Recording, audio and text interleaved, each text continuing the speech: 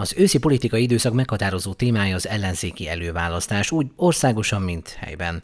Normál esetben a választás előtti ősz egyébként is a már erős politikai ráhangolódásról szól a karácsonyi rövid szünet, majd a kora tavaszi kampányhajrá előtt. Ez ebben a ciklusban nem egészen így alakult, a politikai közhangulat alig változott a 2018-as országgyűlési, majd a 2019-es önkormányzati választások óta.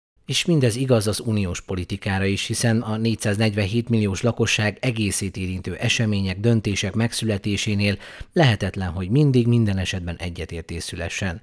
A különböző politikai oldalak vagy egyéb lobbik más-más döntéseket preferálnak, ezen a hadszintéren a magyar kormány elég markánsan képviseli a saját akaratát, amivel igen sűrűn előfordul, hogy politikai ellenfeleket szerez magának. Példaként kötelezettségszegési eljárások az ennek kapcsán visszatartott uniós források, a pedofil törvény elleni LMBTQ mozgalmak melletti kiállás, az állandó kritika a média helyzetére és a sajtószabadság hiányára, az Olaf jelentések, melyek szerint hazánkban uniós összevetésben az egyik legmagasabb a korrupciós veszély, de említhetnénk a tőlünk elhatárolódó norvég kormányt is, és az így elvesztett 70 milliárdos norvég alapot. És akkor még nem is beszéltünk az egyik forrás problémának tekinthető migráns elosztás kérdéséről, vagy esetleg a foci lobbiról, mely a nyáron többször is leckésztette hazánkat, politikai egyet nem értésének hangot adva. Én úgy látom, hogy nem igazán áll ö, ö, győztesre ez az uniós hadszintér. Fentartjuk, Orbán Viktor már csak presztisből is kitart,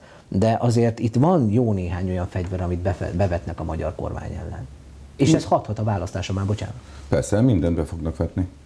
Az Európai Unió, Brüsszel, az ottani vezetők a magyar választás befolyásolására mindent be fog vetni. Azokat, amiket ön most elsorolt. De ne felejtsük el, soha nem álltunk jól a, az uniós csatákban, de mindig jól jöttünk ki belőle. A jelsági honatja arra gondol, hogy a források az elmúlt tízesztendőben ezen az ábrán láthatóan valóban jelentősen megnőttek. 2014 és 2018 pedig ezek mellett is kiugró évek voltak. Így hiába az ellentétek, amikor a hazánkba érkező források mégis jóval nagyobbak voltak. Ez nem adomány, meg nem segély. Ez a magyaroknak jár. Az, hogy ők próbálnak ö, pedofil törvénytől kezdve mindenfélét ezekbe a dolgokba belevetni.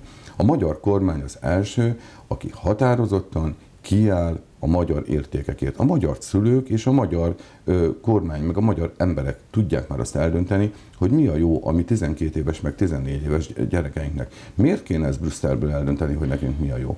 A képviselő gondolat menetében később meg is válaszolt a saját kérdését, szerinte az uniónak az nem jó, ami jó a magyaroknak. Brüsszel és az Európai Unió azt mondta annak idején, amikor Gyurcsányék elvették a 13. havi nyugdíjat, eladták a bankszektort, az energiaszektort külföldi kézbe, felvették az IMF hitelt, eladósították az önkormányzatokat, a családokat, hogy na, ez egy reformminiszterelnök.